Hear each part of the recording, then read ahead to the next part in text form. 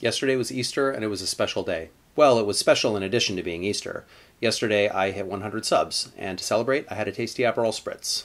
And to celebrate today, I'm enjoying this beer. This is Sari from Japan. It is an IPA brewed with bonito flakes. For my non restaurant people, bonito flakes are very thinly shaved pieces of fish. And I've never had it before, and it's very interesting. Not fishy. No word yet on how I'll be celebrating tomorrow. The other nice thing is that my 100th sub came from my buddy Tom, and I did not coerce him to do this. He just did it because he's a nice guy. Tom, thank you. You'll always be my 100th. And to everyone else who's been watching, thank you for being here while I slowly build this. I hope I made you laugh and maybe taught you something. And if I had a really good day, both.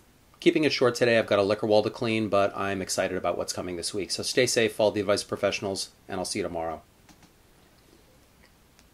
I'm just really not into the IPA flavor of this. I don't know if it's because I'm too accustomed to American IPAs or because too much time went by between when this was brewed and me cracking it open, but ah, whatever.